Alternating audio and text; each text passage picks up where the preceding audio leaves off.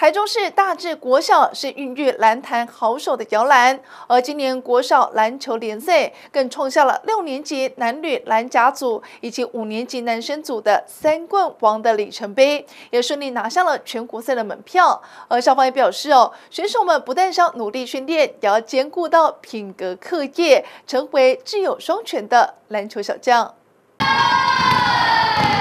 大智国小学生场上较劲，一旁也有球员不断加油打气。苦练多时，终于在全台中市国小篮球联赛中勇夺三冠王的好成绩。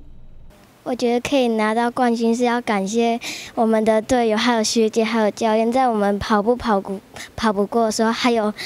遇到挫折的时候陪伴着我们，然后跟我们一起度过很多难关。就是在就是有时候练运球的时候。然后运球没有做好，就要一直做，然后就是要要折返，就会很累。但是我们还是把它做好。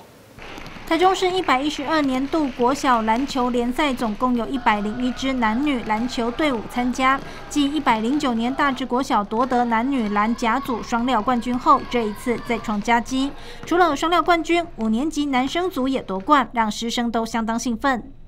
团队合作，互相激励，互相帮忙，才能达到这个三个冠军。我们也希望我们这次能代表台中市，然后去参加全国赛，能够赢得非常好的成绩。我们教练非常非常认真哦，他们到半夜两点还在看对手的一个录影带，要想说他们是用什么战术，我们要用什么战术来赢得这场比赛。所以教练跟孩子的默契非常良好，这样才可以顺利拿到三个冠军。